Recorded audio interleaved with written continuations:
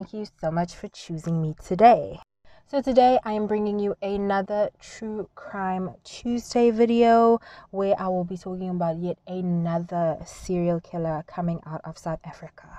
So, for today's video, I'm going to be talking about the Jesus killer, Jimmy Maketta.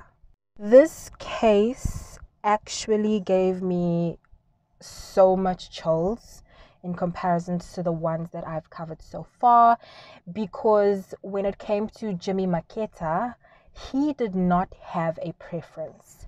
Okay, and you will see why as we go on with the story. I feel like the worst thing that could hit planet Earth is a serial killer who does not have a preference. He targeted men and women within a specific township and he was considered to be one of South Africa's deranged serial killers. And to me, deranged, that particular term just gives me chills and it just shows how cold he was because he literally attacked anything that moved. Needless to say, Jimmy had a major psychological issue. But without rambling too much, let's get into this case. Jimmy was born in 1964 in Cape Town. He was one of 15 children and he had a troubled childhood, and this showed itself in his life. He would run away from home, he would run away from school multiple times. His behaviors displayed signs of a troubled child, and that thing about him set him apart from other children, but in a negative way. Jimmy ended up living in the bushes after he had completed sixth grade. He started stealing, but his crimes became more and more serious as time passed by. At some point in his life, he left for Mitchell's Plain to live with his sister. Jimmy engaged in bestiality and animal cruelty. Now, I'm not going to go into what bestiality is. You can take your time to research what that is, but all you need to know is that it is pretty vile. And when it came to animals, he found pleasure in harming them or killing them. And animal cruelty seemed to be a pattern in his life as well. Jimmy actually got married in his adult life. He was married to Janetta. When Jimmy and Janetta had gotten together. They were very much in love. Nothing about Jimmy seemed out of the ordinary. Janetta explained that he was so charming. Um, you know, he he was her dream man. But according to Janetta, when they got married, literally on that day, a light switched. She said he began showing her his true colors. Netta began to experience Jimmy's dark side. Jimmy was um, he was described to be a loner. He was described to be charming and he actually liked keeping neat. But at some point you would see that something is quite off with Jimmy. Jimmy and Janetta had three kids together now, unfortunately, this was a very unhealthy marriage. It was toxic. Jimmy was very, very abusive. Janetta tells a story of how on the day that they got married, when they got home, he started abusing her physically and Jimmy would physically abuse her in such a way, so viciously, that blood would splatter onto the walls of the room that they were in. And she goes on to explain that for two years she would just look at her blood on the wall until she eventually decided to clean it. But he became almost animalistic. He was so violent towards her that, as I said, blood would splatter everywhere. So you can imagine the impact that she would endure from him. But the thing that became the last straw for Janetta was when Jimmy had an affair. When that happened, she decided, you know what, enough is enough. She got a divorce and forbade him from ever seeing her or his kids. Mind you, this is someone who looked timid and he looked incapable of hurting anyone. Now, despite Janetta and Jimmy's unhealthy relationship, Jimmy was actually a hands on dad. Janetta says that he enjoyed taking them out. He actually spoiled them and always made a day out of everything. He genuinely, genuinely loved his children. Now, when Janetta forbade him from seeing them after the divorce, this sent Jimmy into a frenzy, a deadly frenzy. It would be the town of Philippi in Cape Town that would feel Jimmy's wrath. He would target victims from a distance on a hill. He would watch them for a while until they are eventually close enough to him to confront. Jimmy's killing spree would begin on April of 2005. Jimmy preferred couples. He would kill the man, then rape the woman, and finally kill her too. Now, Jimmy's weapons varied as well. Okay, he would go between using a hammer to using wooden poles, wooden or steel poles, or even hacking people to death with an axe. And the thing about Jimmy is the fact that he would always target the forehead. So you would see it coming, which is the most frightening thing to think about for these victims. Now, here's the weird thing about this case, okay? And I honestly don't understand because now bodies would be found in an irrigation dam or, you know, in the bushes where Jimmy would attack and con- or confront and attack these victims. But when police were alerted about these bodies that were found, for some reason there was a lack of urgency coming from the police. Now, I can never tell you why a murder, even if it was one murder, why there was no lack of urgency for that. I don't know if it's because this was a poor area and usually the poor are not taken very seriously because if this was in a rich area, trust and believe the media would be all over the situation or the police would be all over the situation. But for some weird reason, the police were just not engaging. They were not, or, or, or, rather, should I say, in the beginning, they were just, it was just not clicking for them, which is wild to me because it shouldn't take several bodies for the police to act. Like one death is enough.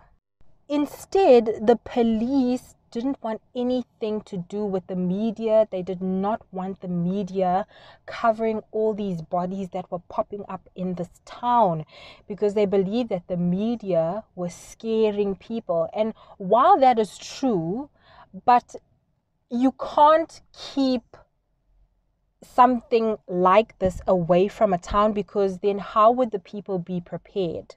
And they were just not considering the possibility that there is a serial killer on the loose because they felt these were all random deaths which is which is surprising. I mean not that that's unheard of but usually when there are deaths close together in a particular town one would kind of think there's a serial killer first but for the police they felt like no this is actually random deaths.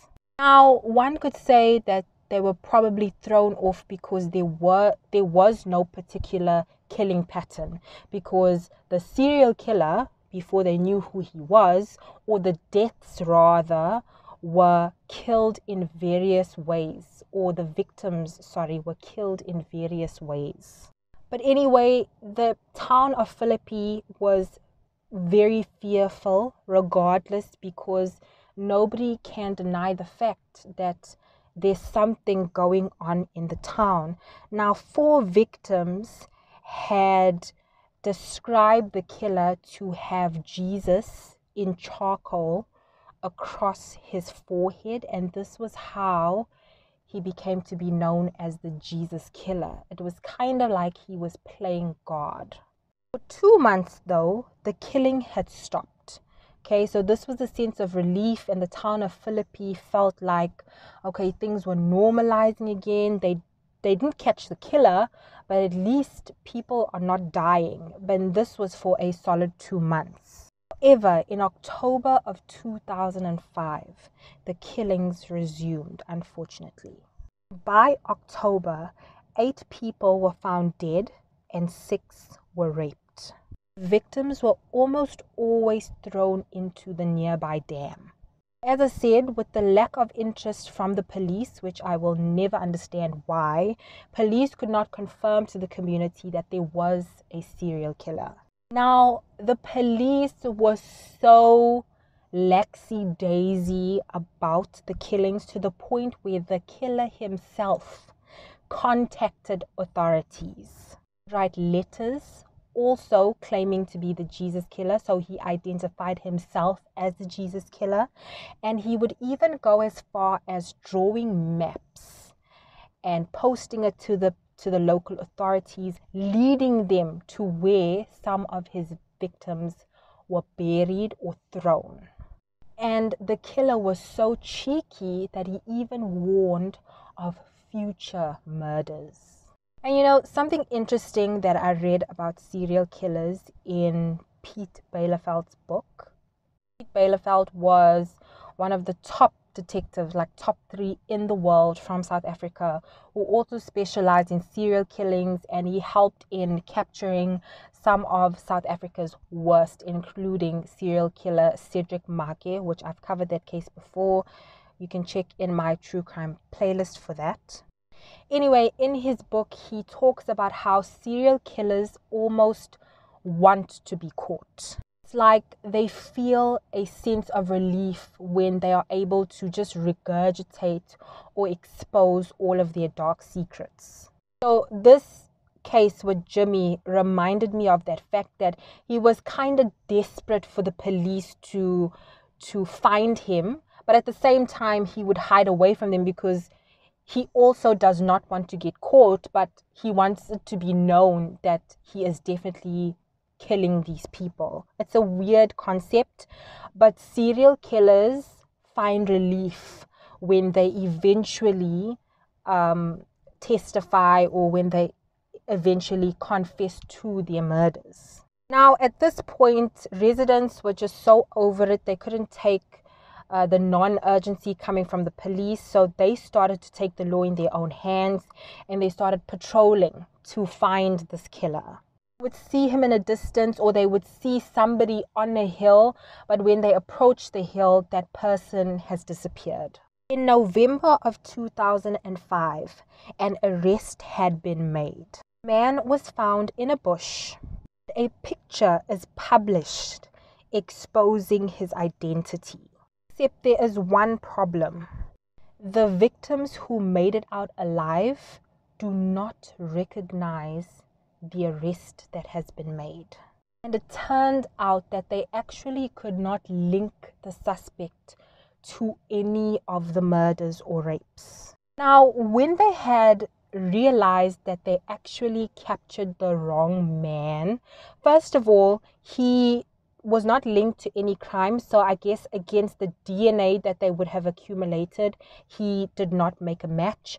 And also physically, when they looked at him physically, he was a 49 year old man who they knew for sure, looking by his physical body, that there was no way he could have overpowered the male victims that had been killed. Now, they had found this gentleman when the police had gone on a manhunt in the town of Philippi. They came across him in a bush, but it turns out that he was the wrong person. So the killer was still out there.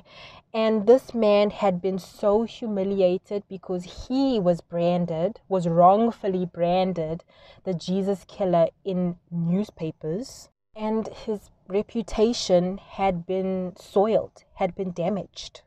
Now, come December 2005, 14 people had been murdered and 22 had been raped.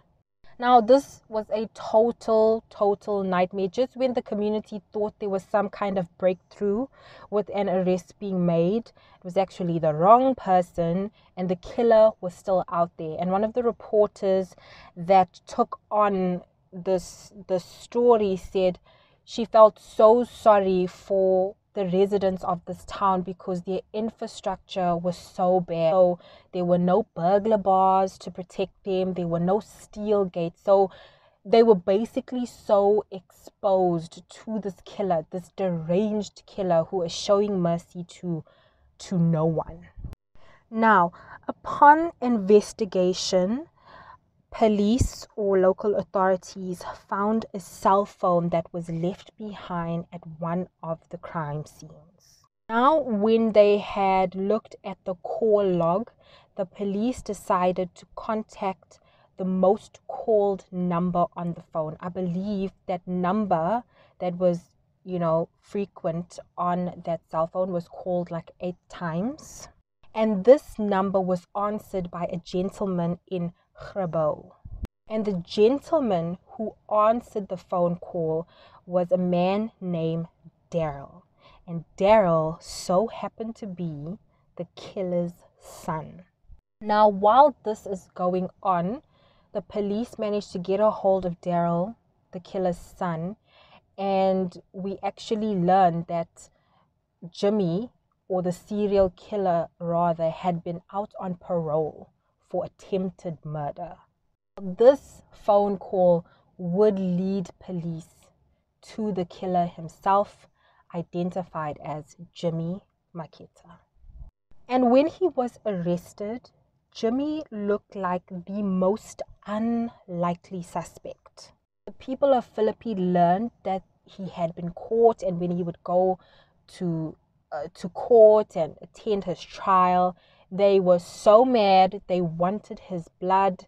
There would be, you know, rioting outside. Not rioting, that's a strong word. They would be like protesting outside of the courthouse. Now, at first, the police could not confirm that he was linked or responsible for all the murders, at least not yet. And Jimmy started writing again. He started writing letters to the captain who was taking over his case, Captain Morris. He started writing due to a suggestion given to him by Captain Morris. Now, obviously this is to get him to confess but i don't think everyone was was expecting him to confess so much like he just let everything out he just spilled and spilled and spilled and again he drew maps and showed police exactly where he hid bodies where he threw bodies and the detail of it all he detailed every single thing. And what's weird about Jimmy is the fact that he was shocked when he learned that the police used that information against him. He genuinely thought that he is he is writing a letter to Captain Morris out of like friendship because there was like a bond that they had that that was born out of their you know uh, communications so he felt like he could trust captain morris. So he was taken aback when he learned that his letters would be used as evidence against him now what i didn't mention before is that jimmy had married a second time of course before he was apprehended he was married to anna and anna had taken him in after janetta threw him out and unfortunately, Anna suffered the same kind of abuse. And she was convinced that he was capable of murder because of how vicious he was. When she heard about all the deaths in Philippi, there was no doubt in her mind. Like she was so sure that yes, he's definitely capable of that. Now, they had married his letter against all the case dockets and this is how they were able to confirm that he was definitely responsible because the letter and the case dockets were similar, they matched. Jimmy also explained how he had like a lion or like a demon inside of him that was just raging and just wanted to tear everything apart. One of Jimmy's main issues was Janetta, his first wife, and he actually blamed her for everything. He blamed her because he forbade him from seeing their children. And the fact that he couldn't see his children really got to him to this point. So he mentions in his letters that he completely blames Janetta for everything. If it wasn't for her, then people probably would have survived. So Jimmy says. Jimmy pleaded guilty to 46 charges 18 rape, 16 murders, 6 house break ins, 2 robberies, 2 attempted murders, and 2 assaults. DNA and eyewitnesses would also not work in his favor, so he matched with the DNA samples that the police had accumulated, and of course, the eyewitnesses had recognized him. But what made this case airtight was the fact that he confessed to all the murders, or the ones that he was willing to talk about, in his letters. So that is what sealed the deal for Jimmy. Jimmy actually enjoyed the media attention. So, as timid as he looked, he actually loved the fact that all eyes were on him. Jimmy was considered a dangerous psychopath who lacked remorse. A psychologist even said that Jimmy couldn't perceive emotion, and this is what set him apart his whole life. So, what would happen is, even when his victims would plead and plead for their lives. Obviously, he loved having power over them, and he he usually targeted people who were drunk. And some of these people didn't even know that they were being assaulted or being raped because he would purposefully target drunk people. It was just an easier target for him. Even if he would be begged, you know, to spare, like victims would say, just do anything to me, but please don't kill. He would kill them anyway. It doesn't matter how much they begged. He was so stone cold. It didn't ring a bell to him. It didn't, it made him feel absolutely nothing. And he killed them anyway. He knew their fate, whether they begged or not. Jimmy was sentenced to 1,340 years on the 3rd of May 2007. And that, my friends, is the Jesus killer case. Let me know what you feel about this case. Did you know about this case? What do you think about this case? If there's anything that I have missed, please let me know in the comment section. Otherwise, give this video a thumbs up if you enjoyed it.